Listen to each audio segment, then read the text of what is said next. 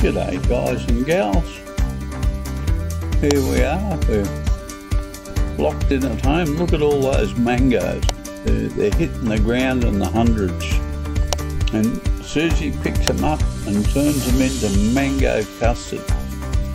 And man, and she got some patience. It takes hours to make. I mean, 10 hours. And she's patiently stirs away and fills the stove with coke. Uh, I don't know why she doesn't cook inside, but beats me. It's probably something to do with uh, custom and tradition. Whatever. You guys enjoy yourself and have a, a very good day. The dogs are always watching and looking for food, so where the food is, they'll be. So that means where Susie is, they'll be. Here's Susie.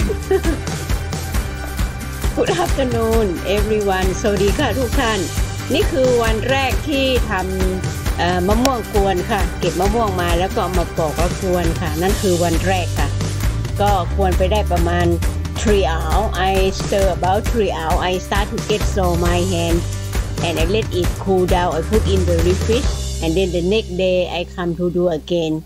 Try to make it dry. And that is still a liquid. And I can do like that and have to dry in the sun. It's uh, very complicated to do. I just do with uh, the stir to dry in the wok like that. I'm happy to do like that. And it's yummy. It's very yummy. And uh, I would like to say thank you very much for your watching. If you like my video please subscribe. I will uh, we are very appreciate.